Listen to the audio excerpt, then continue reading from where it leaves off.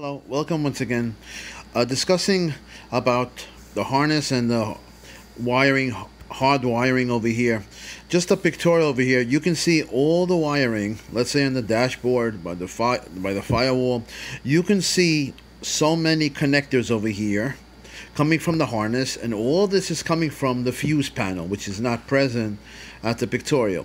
But obviously, each connector goes to a different module or sensor or accessory a component.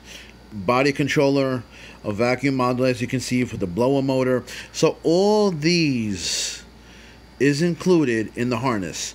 Now as i said before we're going to take out one day all of this. We're going to exchange everything with fiber optic. Now in sports vehicles high performance they already have fiber optic. As you can see with the lights that they have.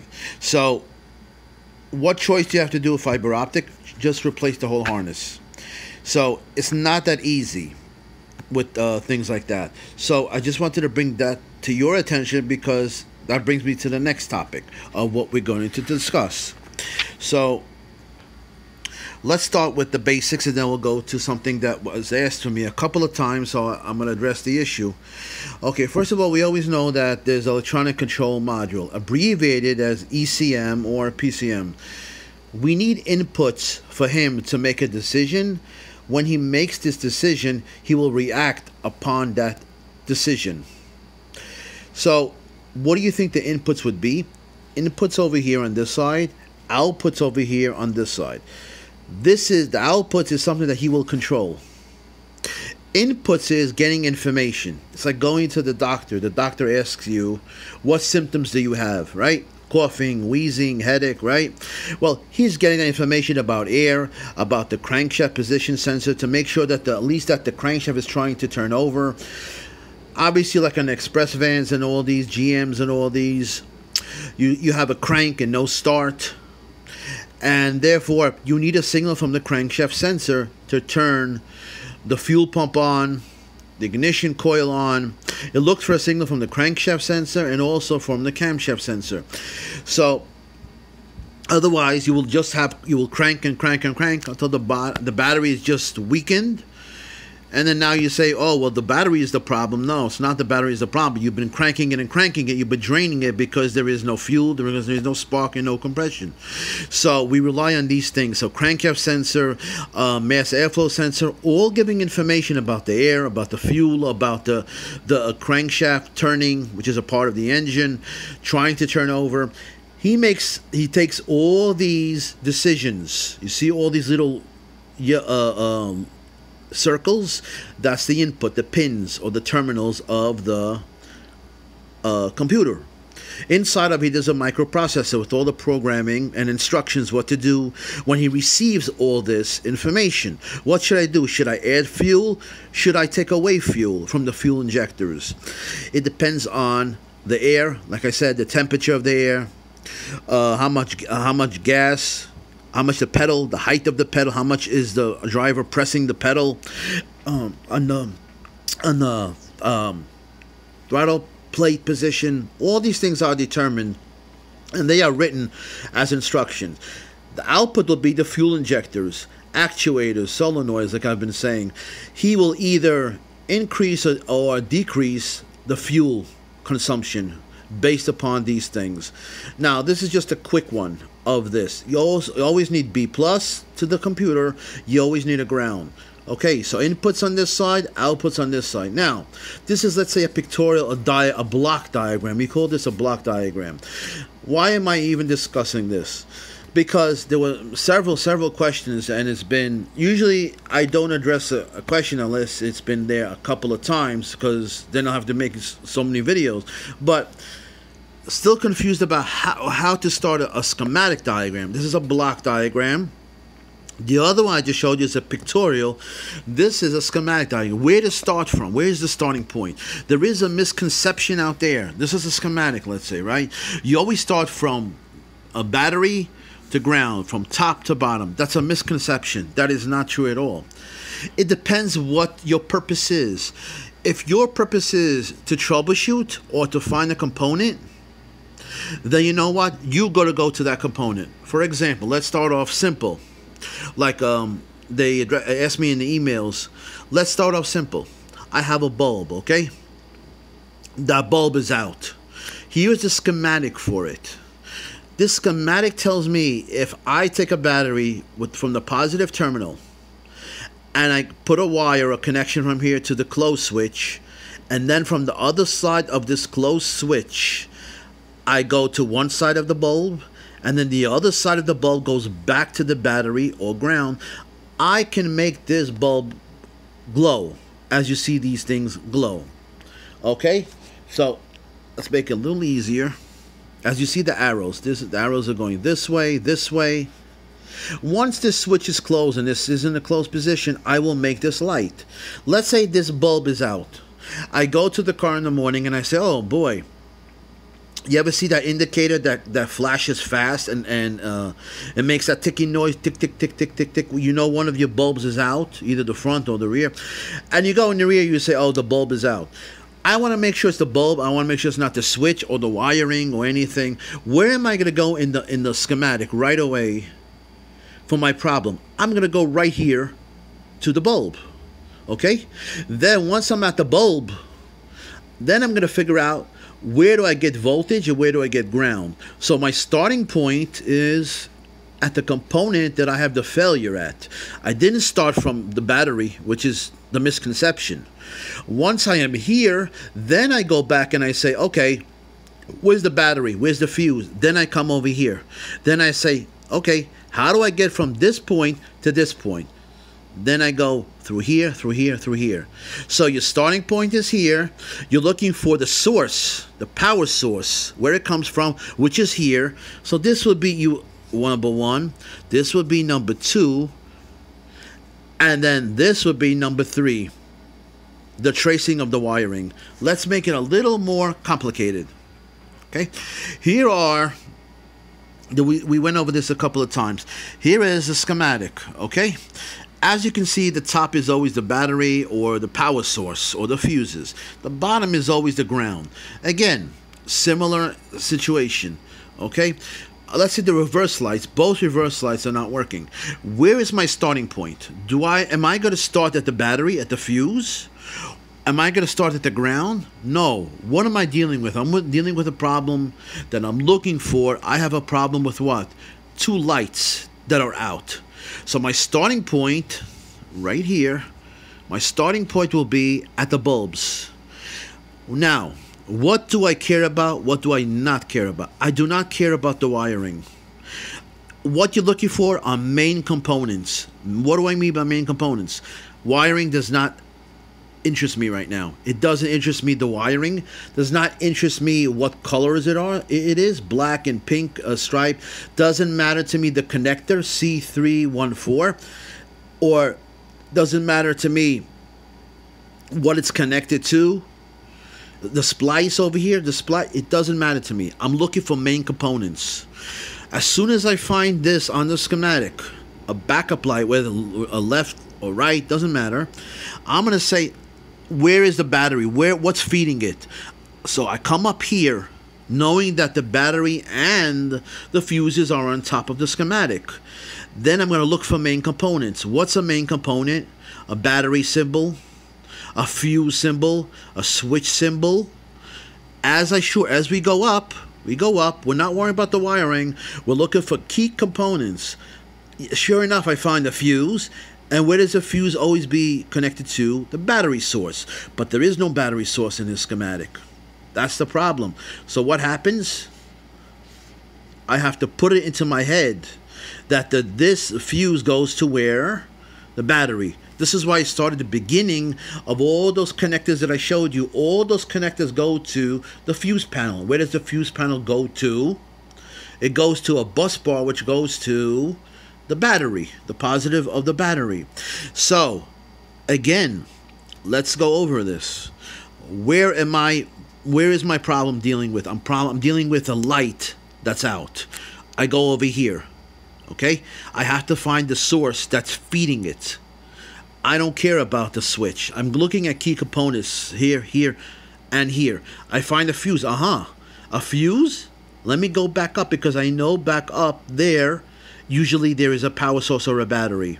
So the the the component is here, and the other component that I need is here. Now I put everything together in between. How does this connect to this? Now at this point, now I will follow I will follow the wiring and the connectors and the splices. Now we do it. So one side of the fuse goes to where? The battery, which is not even in the schematic, but it's understood. When it says hot and run, we know it's going to a battery. Where's the other side of this going to? Going to another spliced wire over here, going to connect the C156. We're going to go this way or automatic. It doesn't really matter. Automatic transmission is in this way.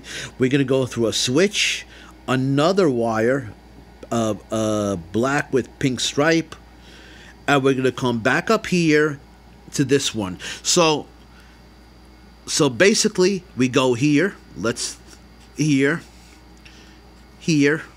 If I'm in an automatic transmission, and then where? Go out here, and then where? Go out here, and then go where? Here, and then go where? We can't stop here. Current cannot stop. Current has to have a full circuit. So where do we go? We go here to a ground wire. And if sure enough, here's the ground. How do we know it's a ground? G. Here's the symbol, and here's G200. So, again, we started off with here's the component we're looking for. Let's say we're looking for this component. Both of them are out. This is the left, this is the right. I find the component. I need a, a B plus. I scan around the schematic.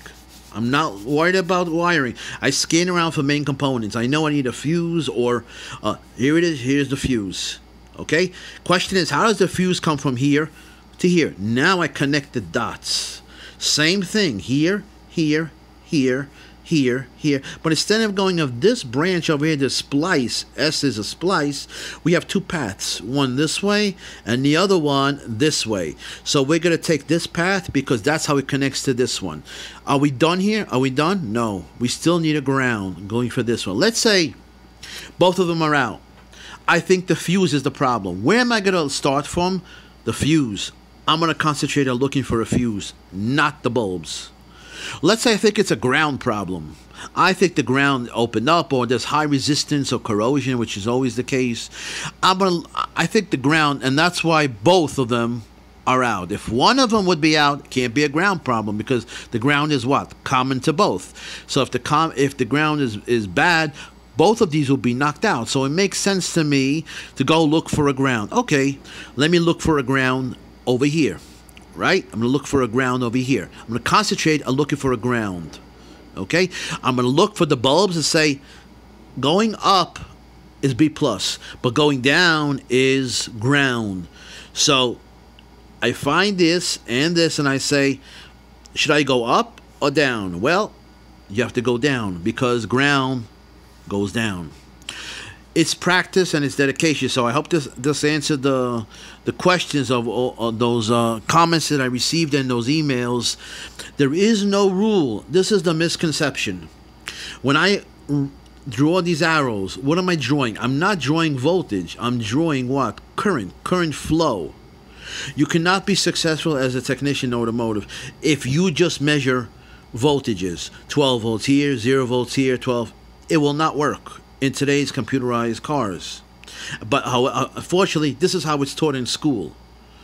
All they teach is power here, power here. First of all, power is not the terminology in automotive. There's not power is watts.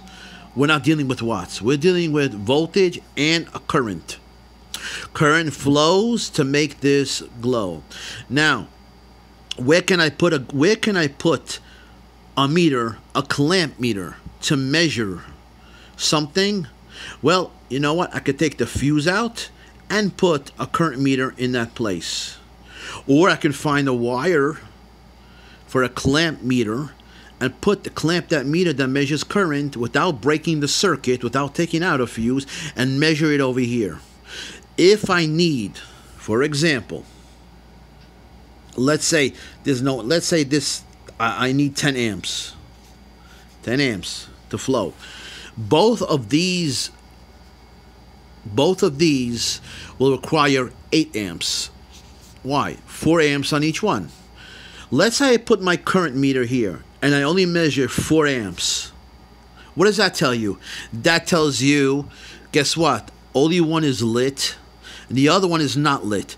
That tells me there must be an open somewhere because I'm not extracting four other amps. I only have four amps here. I'm supposed to have eight. What happened to the other four? Well, the other four is not being is not being drained from the battery because there's an open somewhere. Can it be a short? Can it be a short that this is shorted? If this would be short, it would blow the fuse. My fuse is not blown, it's intact. So, like I said, you have to be good and everything. Like I said, I started out with all mechanics, like everybody else did, just like ScannerDanner, we all started out with mechanical work and all that. But where was the money in? The money is in, in automotive and computer and electronic. That's where more money is, and that's why you gotta peak at your scale, and you gotta once your value goes up, you can determine, you can ask for a good financial agreement right? Just like Michael Jordan. He's the best in his sport, right? He can ask for $33 million, and he got it, right? Why? His value went up. He proved his worth. So much here. If you're good at what you do, not just mechanical, but electrical, you can ask. And you can peak and you can ask, and you will get that price, I guarantee you. So, anyway, go to my channel, Joe Electronic Schematics for Auto. I hope this helped. I hope this relieved the misconceptions that's out that's out there about wiring diagrams, how to read wiring diagrams. You don't start from the, the ground going up here. You don't start from here. You start from basic components, the key component, looking at key components, finding those key components. Let's say I'm looking for, this is a block diagram, right? Let's say I'm looking for the computer, okay, in this block diagram, and I'm looking for the B plus feeding it. Well, Here's the computer. Here's a module, right? I look at this side, key components. Forget about the wiring. Forget about the arrows. Forget about the terminals. I'm looking at key components. Throttle position, that has nothing to do with B+. plus. I look, come over here. Does this have anything to do with B+. plus? Well, the solenoid is getting B+, plus, but it's not feeding directly the ECM. I come over here and bang, here it is. Here's my B+, plus right here. So this is the terminal that I am dealing with, and I am uh, a, a need for this troubleshooting problem that I have. So again, scan the area, look at main components, and avoid in the beginning wiring and terminals and pins and all that. That's not important. Once you get to the once you get, for example, let's say I think the problem is from is from the switch to here. Now I worry about the uh, the wiring diagram, the wiring of it, and the connectors because there might be an open from here to here to this point. What open? Was it the wire? Was it the connector? Now I'm going to concentrate on this wire, the color of the wire once because I have to locate that wire, and the connector the number of that connector. Why? Because I have to locate that connector. Only be, be, when you find the two points, the two main components, and the, the two points in between them, then you worry about such wiring and things like that. Hard and difficult. It's difficult to explain electronics in a non-technical manner. It is absolutely difficult. I know ScannerDanner is the best. He is a legend, and I have I've commented to him. He is a legend at what he does. He's absolutely. That's why he's a teacher in a school for uh, electronics. He's just the best in, in, in electronics that I've seen in, in the industry. So you got to give credit where credit is due, and uh, he does a fabulous job, fabulous job at, at explaining uh, schematics and uh, electronics. So please go to my channel, Joe Electronic Schematics for Auto. Look at the videos on the hands-on how to put clamp meters, how to measure battery uh, testers, mass airflow sensors. I'll be making much, much more hands-on, but I'm working on a, on a big project. Um, uh, somebody gave me that project because they saw the channel and I could not refuse, believe me. But thank you so much.